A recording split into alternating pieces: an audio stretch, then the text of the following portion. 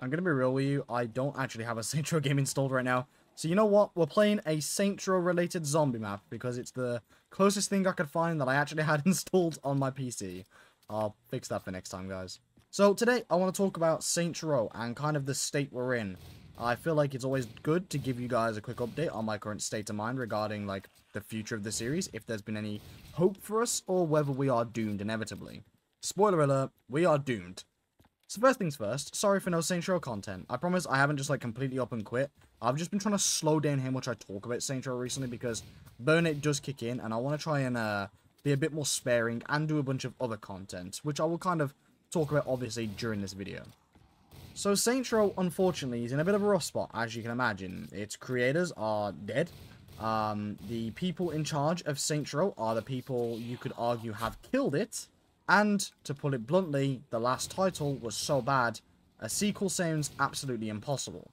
Combine that with the fact that Deep Silver don't see any profit in remaking the older games that people actually like, and I honest to god think that the best outcome we get is a Saints Row 4 remaster if we are lucky. How crazy is that? The Saints Row 4 remaster is the good ending. Now, I'm not just trying to be negative, I do genuinely have, like, common sense to back up what I'm saying here.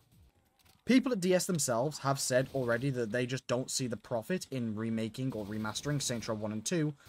Stuff like music licenses would be really expensive for them, and they just don't see any profit in it. And if that's how they feel, I'm not going to be out here disagreeing with it. They know business better than I do, just to be blunt.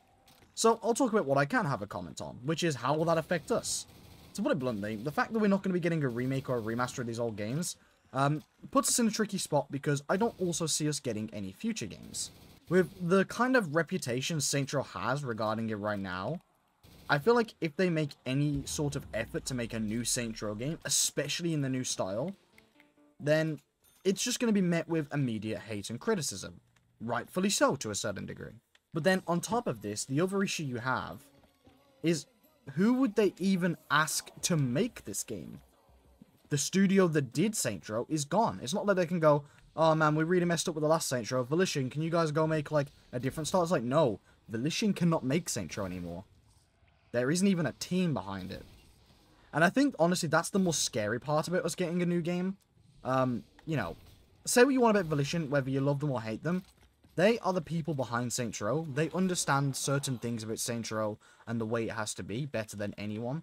And it seems like a lot of the evidence does point towards DS kind of stopping Volition from making the Saints Row game they wanted in elements.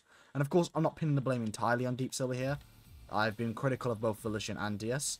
But I do just want to say, like, the fact that Volition are gone, when it seems like at times they were the only ones really fighting for our best interests, it's a scary thought, just to say the least.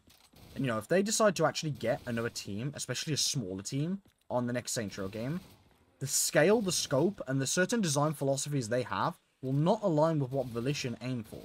Like, say you want, Volition were always punching well above their weight, and that was something you have to just credit them for, whether you love them or hate them. They were always trying to do more than they can handle, realistically, and that was both to their detriment and to our betterment.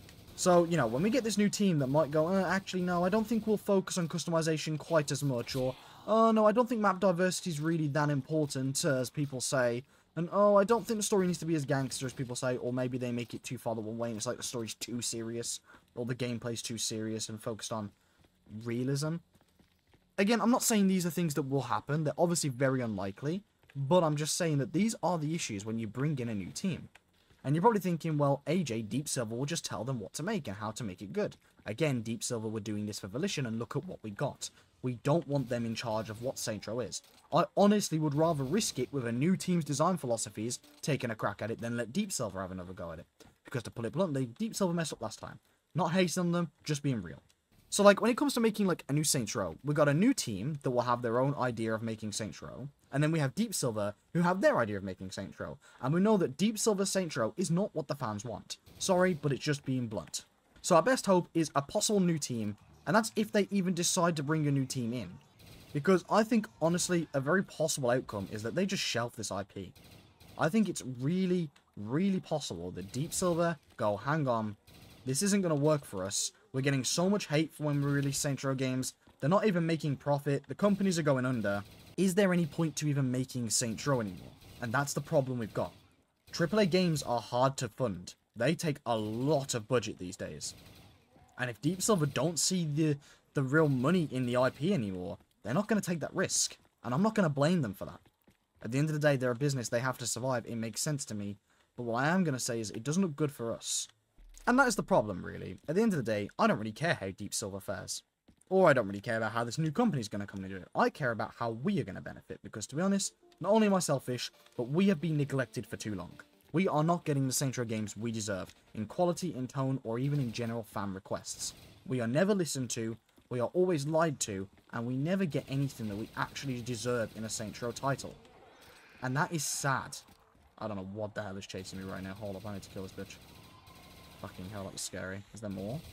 Or just the one? I think we're okay. That's not, though, to be entirely negative, because I do think there are possible outcomes that might actually benefit us here. Because whilst I've spoken about some of the things that I don't think look great for us, and to be honest, I won't lie to you, okay? I'll try and be as honest as I can. I don't think some of these better outcomes are going to happen, but they are possibilities that could happen, if that makes sense. It's unlikely, but possible. One possible outcome we could get is that Deep Silver go, man, Saints Row is too much effort and we're not making money. Let's sell this IP. Now, that would be a dream. Because to be honest, I would want Deep Silver to sell the IP to someone who actually will listen to fan requests and handle it well. That would be ideal. And I think that that would really be the best case scenario. If DS were to sell the IP and let people who kind of understand the market a bit better and the Saints Row IP a bit better handle it, I think that would be a W. I know that people at Volition have said that Deep Silver are definitely best suited to handling AA games, and I have to agree. Look at the issues with every game they release. Dead Island 2 took, what, 10 years of dev hell? How many teams did they go through? Saints Row, the less said about it, the better. It's just been like tragedy to tragedy here. So, you know, it's not great. I won't lie. It doesn't seem like there's a great deal of hope for us, and that's kind of sad to say as a Saints Row fan. I've always felt like Saints Row had its place, and we always bounced back. But, you know, with no even team working on the games anymore, I just don't see any positive outcomes for us as a community. But again, I do think it's kind of likely that we'll see a Saints Row 4 remaster. Now, before everyone goes, AJ, what the hell, why are we getting Saints Row 4, not Saints Row 1 and 2? Understand that remastering those games is just harder, okay? They've already remastered Saints Row 3, and they're very similar games, and I believe that the Saints Row 3 remaster made profits. Um, and I could perhaps see them pushing for a Saints Row 4 remaster by the same team, in the same style. Now, I know people are kind of mixed on the Saints Row 3 remaster. I'm on the side of it did improve the games in quite a few ways, even though it has a few caveats. And whilst perhaps I'm not the biggest fan of certain things about the remaster, I'd probably end up playing the remaster over the base game most days. So I think it's kind of possible that we'll see like maybe a Saints Row 4 remaster, if we're lucky.